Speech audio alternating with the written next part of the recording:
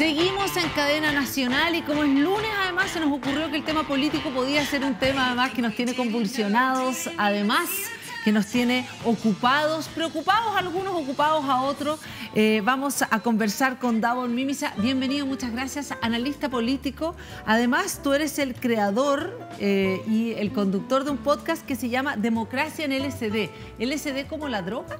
Sí, pero, pero lo usamos como, como juego de palabras con liberal socialdemócrata, que son como las como las familias de ideas a las cuales estamos apuntando. Ah, qué fome. Yo pensé que de repente estaban como, no sé, como que realmente estaban en el SD y hablaban de política. Eh, pero la democracia está un poquito en el SD, entonces también... A la democracia, ustedes no. Ustedes eh, siempre están en el fondo perfecto. Nosotros solamente a veces estamos en el SD. Ya, bienvenido, muchas gracias por estar con nosotros. Además, trabaja ahí con Jimena Jara, que me, dijiste, me dijiste un dato muy, muy entretenido. Speechwriter, ¿cómo? Eh, no, speech, ¿cómo se dice? Ella era la jefa de contenidos del segundo gobierno de Michelle Bachelet en, la moneda, que es básicamente la, jefa del equipo que le escribe los discursos a la presidenta. Ah, perfecto, ya como que el, escritor, digamos, debajo, eh, detrás de las sombras. Perfecto, ya. Democracia en LSD. ¿Cuándo crearon eso? Porque la democracia está en problema. La democracia está en problema, yo creo que hace rato. Eh, Freedom House, eh, que, es una organización internacional que revisa el estado de la democracia, hace 15 años que está midiendo que eh, eh, hay más países que están retrocediendo en su calidad de democracia que los países que están avanzando en su calidad de democracia. Hace 15 años que, estamos en una especie como de recesión democrática a, nivel global. Ya, cuando hablamos de recesión democrática, quiero saber si este video, de quien triunfó además las elecciones italianas, ¿Es o no para Davor Mimisa eh, un retroceso en lo que tiene que ver con la democracia? Veamos a quién será quien gobierne además Italia en los próximos años. O meses, no sabemos, porque en Italia la gente dura poco, parece. ¿Lo vemos? Sí a la familia natural, no a los lobbies LGBT, sí a la identidad sexual, no a la ideología de género, sí a la cultura de la vida no al abismo de la muerte, sí a la universalidad de la cruz, no a la violencia islamista, sí a fronteras seguras, no a la inmigración masiva, sí al trabajo de nuestros ciudadanos, no a las grandes finanzas internacionales, sí a la soberanía de los pueblos, no a las burócratas de Bruselas, y sí a nuestra civilización, y no a quienes quieren destruirlo. ¡Viva Macarena Olona, presidente de Andalucía!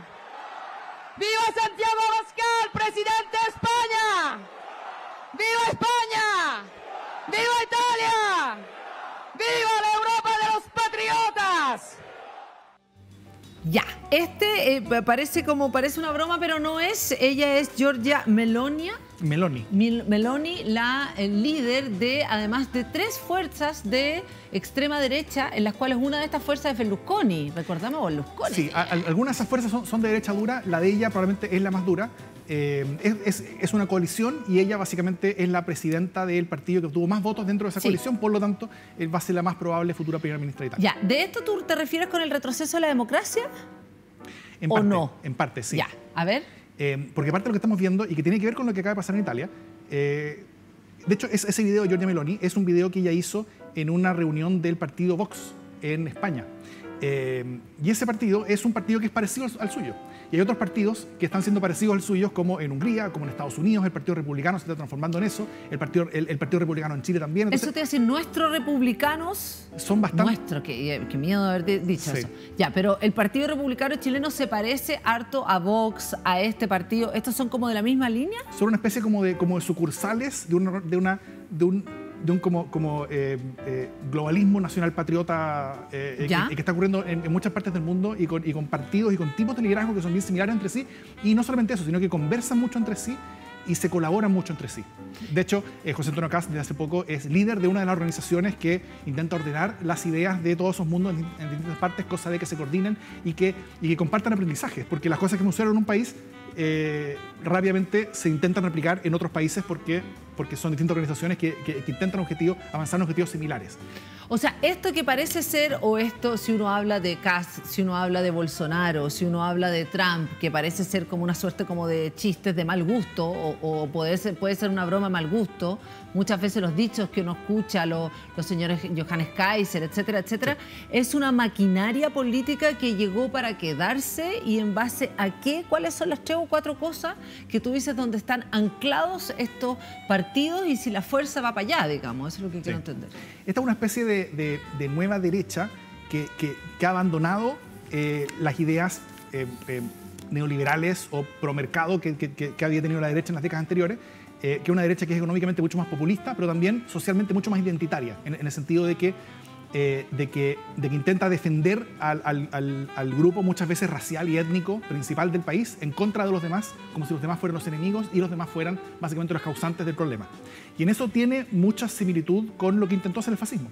De hecho, en el mismo Italia, faltan 32 días para que se cumplan exactamente 100 años de que Benito Mussolini haya llegado al poder como primer ministro en Italia. Eso pasó en octubre del, de, 1922. Y, eh, y Giorgia Meloni es la presidenta de un partido que, eh, que es descendiente directo de ese fascismo italiano. Ya, eh, eh, con respecto al tema de, lo que, de lo que asociamos a fascismo ahora, porque ¿por qué la diferencia con Alemania? Que Alemania, al menos yo leí hoy día en la BBC que decía que hubo una desnazificación que no se llevó a cabo de la misma manera en Italia, es decir, que de alguna manera, si bien es cierto, vuelve una de derecha, pero no tan directa como es con el fascismo acá. ¿Es así o no? Hubo, hubo, hubo bastante de eso, en parte porque el proceso para los alemanes fue mucho más traumático. Lo que lo que ellos hicieron en la Segunda Guerra fue, fue mucho más horroroso que, eh, que lo hicieron eh, el, eh, que lo hizo el fascismo italiano con, con otros pueblos. Ellos, no fueron ninguno santo de, ninguna cosa, pero, pero en el caso de Alemania fue, fue bastante más terrible. Entonces hay, hay, hay ciertas cosas sociales que fueron más difíciles que hicieran que que, hubiera una continuidad en el fascismo alemán. Pero hoy día también en Alemania hay un partido que es la AfD, que también es parte de este grupo y que también conversa bastante con Giorgia Meloni y con, y con otros liderazgos. ¿Cuáles son las características de, de, esos, de esos partidos que comparten como una, una digamos, una sola, o, pareciera como que van latiendo juntos, digamos? ¿Cuáles son las características claves? ¿Por qué los asociamos a las fake news?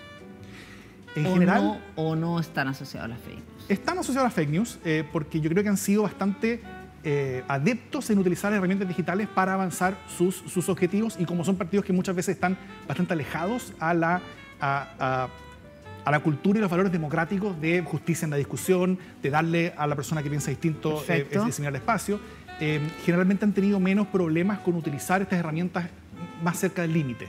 y esto se ha visto desde, desde cuando todos estos grupos empezaron a crecer en forma, en forma bien fuerte, que fue eh, después de la, de la, de, la, crisis de migración que tuvo eh, Europa en general, eh, cuando comenzó la guerra, con, con, fuerza la guerra en Siria y, hubo, millones de personas intentando entrar en Europa, ahí muchas de estas organizaciones vieron que este tema era un tema muy redituable electoralmente y, y, lo, usaron en forma identitaria para crear una especie de, de, desafío desde la derecha a la élite política que estaba manejando los países por décadas antes.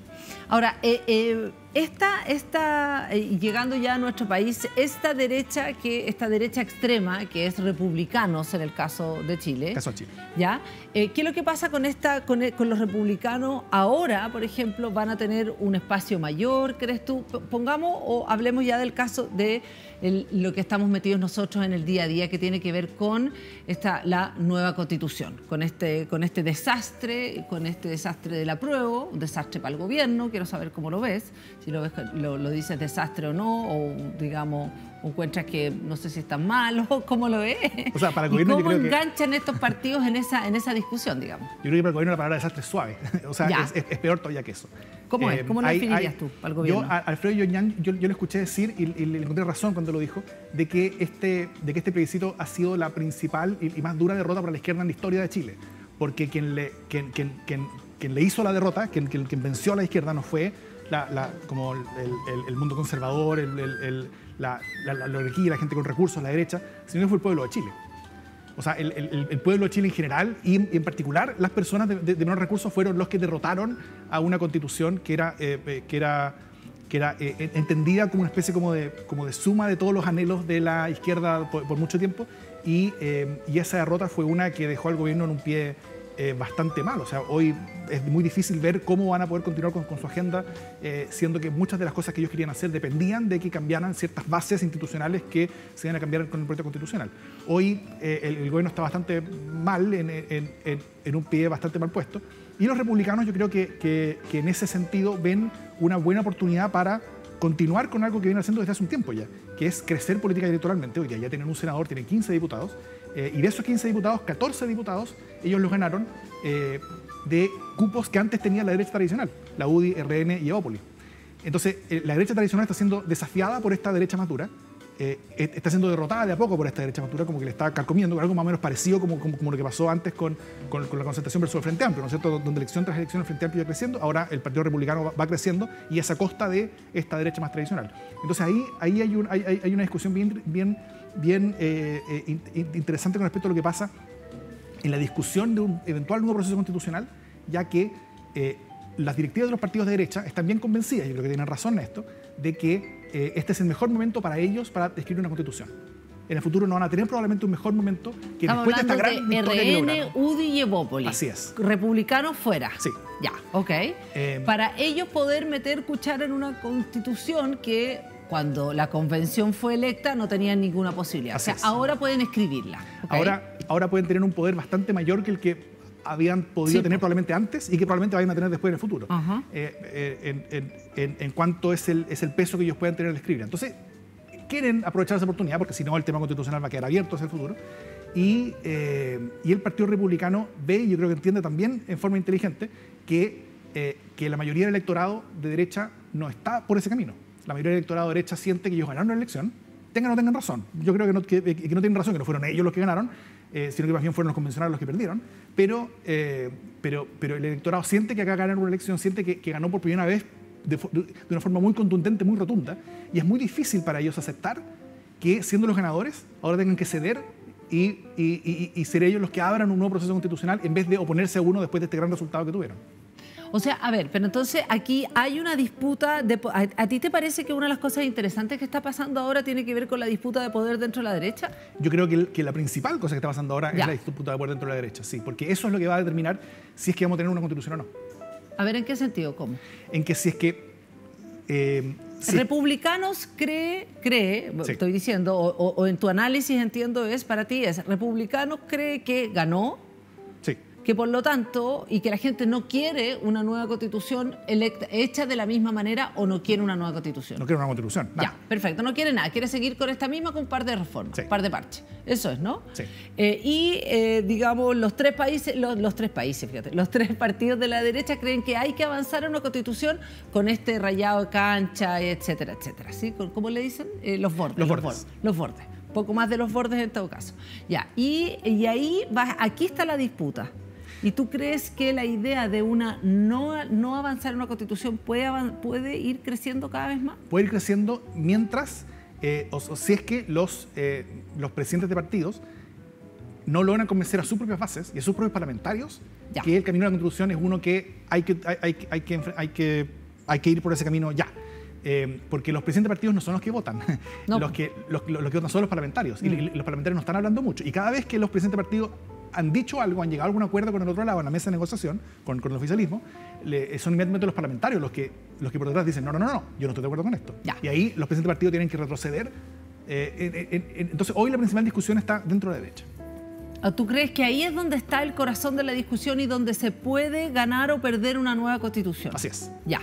Y con respecto al tema de, en el caso del gobierno, ¿cuál es la complicación? La, bueno, son, demasiadas, pero bueno, veamos cuál, según tú cuáles son las complicaciones del gobierno ahora o del presidente Boric, ¿cómo lo ves tú? El gobierno tiene que encontrar una, nueva razón de existir hoy día. ¿Ya? O sea, el, gobierno existía para una cosa. Eh, eh, como uno dice, eh, tenían una sola pega. you had one job. que era aprobar el, proyecto, constitucional. Con el proyecto constitucional aprobado, todo su programa se, viabilizaba políticamente, ellos podían avanzar en, muchas materias. Sin ese proyecto constitucional, con la actual constitución, es mucho menos lo que pueden hacer con respecto a su programa. Entonces, la identidad del gobierno va a tener que cambiar porque, porque los objetivos que tenía para los cuales fue elegido son objetivos que hoy día están fuera de su alcance. No solamente porque ya no hay, eh, y, no va a haber en el corto plazo, ni, en el mejor escenario, una nueva constitución. Eh, en el mejor escenario pueden, puede, puede, faltar un año y medio, dos años para que haya una eventualmente. Eh, sino que los vientos políticos cambiaron.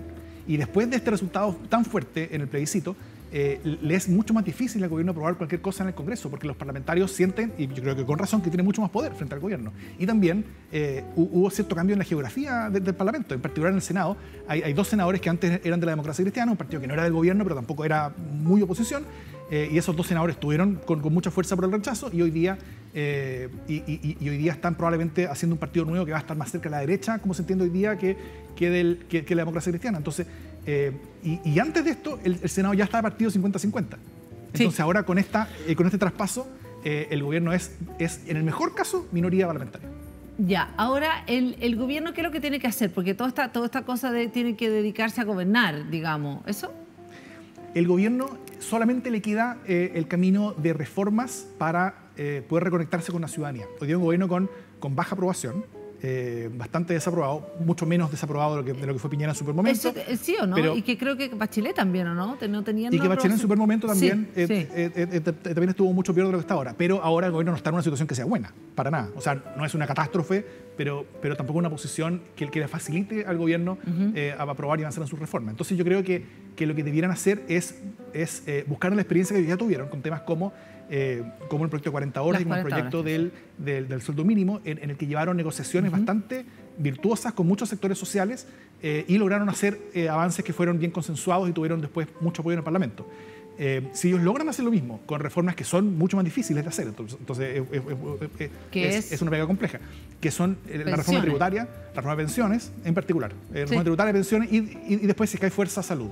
pero si me preguntan a mí, si logran una de esas tres cosas ya sería bastante. Ahora, con respecto a, eh, porque tú dijiste que hay un desafío de la derecha que tiene que ver con, con, esto que se está desbordando, digamos, que además ha pasado en todos los, en todos los países, el Tea Party, etcétera, etcétera, ya pasó en Estados Unidos antes, en fin. ¿Qué es lo que está pasando en la izquierda o las izquierdas? tienen un proyecto después de, después de esto, donde parecía que finalmente era la coronación máxima de todas estas agendas, eh, se desploma ese proyecto. ¿Qué es lo que pasa? Yo creo que estas izquierdas. tenía un proyecto, un proyecto que fue derrotado en forma contundente por la ciudadanía. Eh, y, ese, y, por lo tanto están también buscando una nueva identidad. Yo creo que, que, las izquierdas están hoy día en una especie como de, como de en, distintas etapas de como el proceso de duelo, ¿no es cierto? Hay algunos que están todavía en la negación, otros están en la ira, otros, otros están en la negociación pero yo, pero yo no veo ninguno que esté todavía como en, la aceptación, que es como el último, y, es el, y, es, el momento en el que van a como darse cuenta de la, posición en la que están y de los espacios y oportunidades que tienen eh, hacia adelante, que no son pocos, o sea, ellos pueden hacer muchas cosas, pero el problema es que están tan disgregados, o sea, incluso dentro del mismo gobierno, eh, hay dos coaliciones hoy día que no hablan mucho entre sí, que no tienen mucha coordinación entre sí, eh, y vamos a tener un gran ejemplo de la capacidad de articulación de ese mundo esta semana. Eh, cuando el jueves se está citada la próxima reunión de la mesa de negociación constitucional y ahí vamos a ver si es que eh, estas, estas coaliciones, que, Las izquierdas, que, son varias, claro, eh, que por un lado está Prodignidad, por otro lado está Socialismo Democrático, la democracia cristiana incluso también podría estar involucrada en esto, pero si es que van a ser capaces de construir una contrafuerza común a la, a la propuesta que hizo eh, ya Chile vamos en forma, eh, en forma coordinada y ordenada. Ya, no hay una idea también, una idea fantasiosa, por cierto, de la, ya sea de la derecha, del partido de la gente o whatever, de creer que, que eh, tomaron, incluso también de la Jimena Rincón, etcétera, etcétera, por, por nombrar a todos estos mundos de los cuales se apropian de una suerte como de sentido común, de la idea del centro, de todos los chilenos, de lo patrio, que realmente está tan veleidoso el tema de las elecciones que puede cambiar así y, se les puede dar la vuelta a la tortilla. Y Completamente, sí. O sea, como que es, pareciera que fueran definitorios de la, del hundimiento de las izquierdas y de repente como que reaparecen y aparecen muertos. ¿Qué, qué pasa un poco con eso? Una, una, forma que uno podría entender todo esto es que más que que, que, que Chile se convierta en un país muy de izquierda cuando vota una cosa y, el, y, el, y los años se convierte en un país muy, muy derecha que vota que, otra es lo contrario, es que es un país que en el, último tiempo ha sido un país que no es tanto de izquierda ni de derecha, sino que siempre ha sido un país de oposición a, a, quien sea que, que, se persigue que tenga el poder. Pero todos los electorados son así, cada vez más o no. Yo creo que hay una especie de, de, péndulo donde, donde los, donde los las puntas del, como de giro del péndulo están cada vez más lejos y, el péndulo se mueve cada vez más rápido. O sea, hay, una especie como de, como de, vértigo creciente en la política chilena y, que no es la única. O sea, esto se está viendo en muchas partes del mundo también, donde, eh, donde, donde el electorado se enoja cada vez más, el electorado eh, vota más para otro lado cada vez más eh, y, y eso a veces termina rompiendo el sistema y por esas tesaduras entra un liderazgo populista del cual después es muy difícil salir. ¿Entran como los Trump de este mundo, decís tú? ¿O entras quiénes? Los Trump, los Cast, los París y los Jadwe, uno podría decir en, algunos casos, eh, que, son, que son liderazgos que no eh, tienen a la democracia como, como, una cosa eh, de, preocupación primaria o que no les importe mucho ese tipo de cosas y que, y les importa, y que lo que les importa es conseguir más, más, poder y que el poder les dure por más tiempo. Y hoy día lamentablemente estamos en una posición bien frágil porque la constitución como quedó es que la, constitución que tenemos hoy día no es en sí una constitución. Todos los quórum fueron bajados a cuatro séptimos, incluso las cosas centrales. Eh, hoy en día la clase política y los parlamentarios en general mm. ya se acostumbraron a legislar vía reformas constitucionales, cosas que muchas veces serían inconstitucionales. Entonces, como, como es vía reformas constitucionales, no, no hay recursos de, ningún tipo y, no hay límites básicamente de ningún tipo a, las cosas que se pueden hacer. Eh, y esto, este poder, en las manos de un liderazgo presidencial, por ejemplo, que tenga una mayoría parlamentaria un, poquito mayor al 50% para llegar a los cuatro céntimos, podría eh, permitir reelegirse, podría permitir eh, cambiar el sistema electoral a su favor, podría cambiar eh, la, composición de la, de, la, de la, Corte Suprema, del Tribunal Constitucional, del, del, del, Tribunal del Tricel. Eh, podría ser básicamente cualquier cosa. Y de la noche al mañana nos veríamos en una situación como la que se están viendo hoy día eh, las personas que viven en El Salvador, eh, como las personas que viven en Hungría, con las personas que viven en Venezuela. Las personas de, El Salvador es un, señor Bukele, que es un...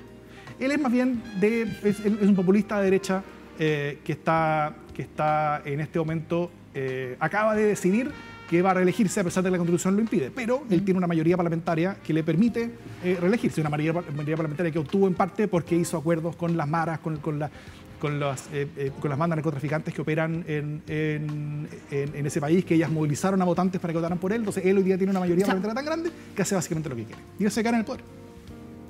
Ya. O sea, en el fondo la cosa viene fácil. ¿Eso es lo que nos quieres decir? Creo que la cosa viene de de una, de una manera en la, que, en la, que, tenemos que estar mucho más atentos a lo que pasa y tenemos que ser mucho más defensores de lo que hoy día sí tenemos, porque lo vamos a perder muy fácilmente. ¿Cuáles son las cosas que hay que defender? Eh, yo diría que, que, todos los ataques a la, a la democracia eh, entran por dos lugares. Entran por el ataque a la libertad de prensa y entran por el ataque a, eh, a, la, a las Cortes de Justicia. Eso en general es lo que ha pasado en, todas partes del mundo. Y yo creo que también en Chile estamos viendo cómo fuerzas que no creen en la democracia están atacando a la prensa y están atacando a, las cortes o, la independencia del Poder Judicial en general. Eh, vimos proyectos en ese sentido de algunas candidaturas que quedaron en el camino en la última elección presidencial. ¿Como la de Jaude? Como la de Jaude, pero también... Para poder bajar todo, pero, pero, pero, también como la de, Cas, pero también como la de Ley de medios, ya. Hay, algunos formatos de la ley de medios que son muy preocupantes, otros menos, pero, hay, algunas formas de, aproximarse a ese tema que puede ser muy preocupante, sí. Daor Mimisa, eh, analista político y además eh, creador del podcast Democracia en LSD. Muchas gracias por estar con nosotros acá en Cadena Nacional. Gracias por la invitación. Y nosotros nos vamos. Esto fue Cadena Nacional del lunes y seguimos mañana, por supuesto. Estás en VX. Chao.